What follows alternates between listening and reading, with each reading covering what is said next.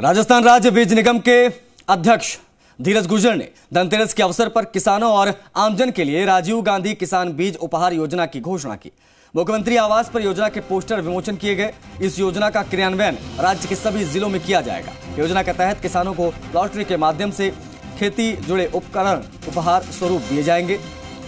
राज seeds का बीज खरीदने पर जारी बिल और उपहार कूपन के आधार पर किसानों को उपहार दिया जाएगा। उपहार कूपन को पास के ग्राम सहकारी समिति में जमा कराएँगे और आवश्यक होगा इसे जमा कराना। और विजेता का जो चयन है, वो लॉटरी के माध्यम से किया जाएगा। जो अनुदानित बीज है, जो गैर अनुदानित बीज है, उन सभी बीजों के ऊपर चाहे किसान जीएसएस से खरीदे, चाहे किसान प्राइवेट डीलर से खरीदे, चाहे किसान सरकारी दुकान से खरीदे। जहाँ से भी वो बीज निगम, राजस्थान राज्य बीज निगम का बीज लेगा, उस बीज की थैली में उसके लिए कूपन उसको मिलेगा, उस कूपन को फाड़ के उसको जमा कराना है, दुकान के ऊपर जो ड्रॉप बॉक्स रहेगा उस बॉक्स के अंदर डालना है, और उसके बाद में सीज़न पूरा होने के बाद प्रत्येक ज़िले में हम इसकी लॉटरी निकालेंगे और किसानों को ट्रैक्टर, स्प्रे मशीन और किसान टोस्ट देंगे।